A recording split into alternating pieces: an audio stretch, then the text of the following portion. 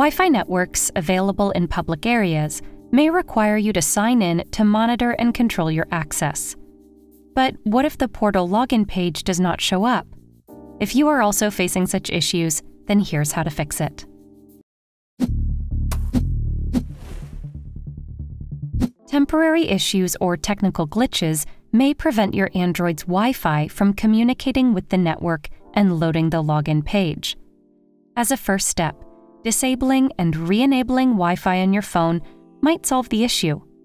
To do that, swipe down from the top of the screen to access the Quick Settings panel. Tap the Wi Fi icon to turn it off. Wait for a few moments, and then tap the Wi Fi icon to turn it back on connect to the network again, and see if the captive portal login page appears. Removing and adding the Wi Fi network again is another classic fix that can help with various Wi Fi issues on Android. To do that, open the Settings app on your phone, go to Network and Internet, and tap on Wi Fi. Now tap the gear icon next to your Wi Fi network. Tap the Forget option. You have now removed the Wi Fi network from your phone. To add it again, tap on the Wi Fi network's name to connect with it. It is also possible that the login page is not showing up because Auto Reconnect is enabled for the network. You need to disable it. To do that, open the Settings app and navigate to Network and Internet. Then tap on Wi Fi. Now tap the gear icon next to your Wi Fi network and disable the toggle next to Auto Reconnect. After you disable the Auto Reconnect option, your Android phone should disconnect from the Wi Fi network. If entering a random web page URL does not take you to the login page, try entering the router's IP address. To do so, open your preferred browser or Google Chrome.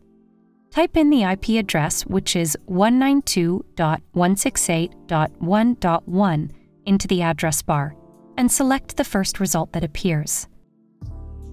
If that doesn't work, type 192.168.0.1 instead. Or check the router's support page to know the exact address to open the admin page.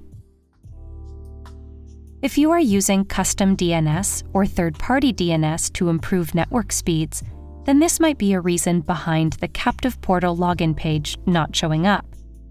You can turn it off to see if that fixes the issue. To do that, open the Settings app on your phone and navigate to Network and Internet. Now tap on Private DNS at the end of the list. Select Automatic from the Private DNS Mode dialog box and hit Save. Now restart your phone and check if the portal page is showing up or not.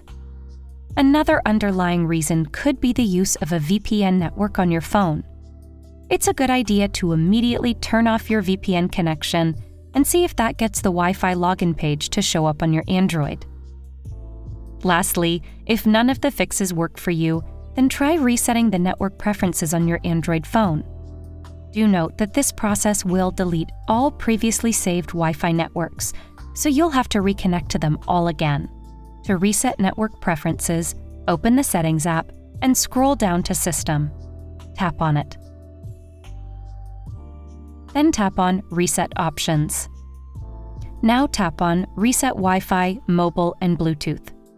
Finally, tap on Reset Settings on the next prompt, and that's it. Hopefully, you are now able to successfully fix the Wi Fi login page not showing up on Android phones. If you like this guide, make sure to follow and subscribe to Guiding Tech for more tutorials related to your everyday technology. And make sure to check out one of these videos we think you might enjoy.